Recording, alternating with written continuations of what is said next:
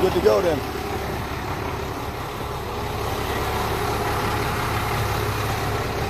I'm just gonna return it back to normal and I'm gonna shut it down. I'm gonna turn it back to normal, then I'm gonna shut it down.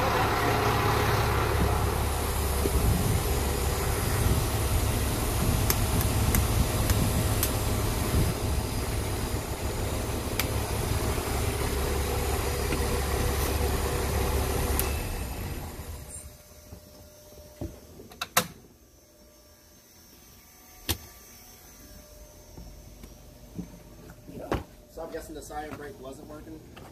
No, I just disconnected. I had it wrapped up. I didn't know if it was working before I um, took the other Q and worked on it.